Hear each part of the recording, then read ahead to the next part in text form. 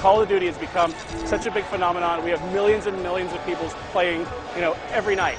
So we needed to do something that was outside of that norm, and that's where this concept of compete, customize, create come from. You know, we talked about competition, customization, and creation in the game, and each one of those pillars that we use to drive development has its own kind of really big feature. With Create, we really want to give you the bigger ability to do your Create a Class. So the way the Create a Class works is now, as I earn COD points, I can buy the weapons that I've unlocked. We've added currency because we want to give players more choice.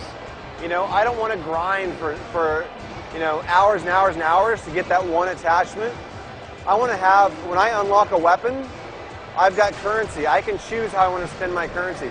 So what this allows me to do is if I unlock a sniper rifle, I get the amount of currency equal to that when I rank progress. But I don't need to spend it on a sniper rifle. I can say, ah, I don't need that. I'm going to go spend it on my SMG. I'm going to deck it out with some cool camo. I'm going to add, you know, extended mags or a cool sight or a cool reticle, and it allows me to make the weapon mine, which is a real sort of big tenet for the team.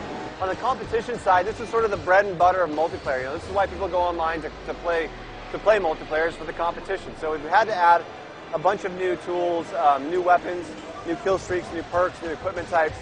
Um, perhaps the most exciting thing for me is that we've added a new tactical kind of way to play the game with the equipment category. It's a third new category to your gear. So you have your two grenades, you have your primary, your, your lethal, and your tactical grenade, and you also have your equipment category. Um, the equipment category can kind of be a game changer, depending on how you use your equipment. If you plant it in the world, for example, the motion sensor is sort of like a little mini UAV. It gives you uh, a pulse around the radius of the, of the motion sensor and shows up the red dots on your mini map. So you can use it very tactically to defend a location. Camera spike is another example of that. You can see a remote camera view wherever you plant that thing in the world.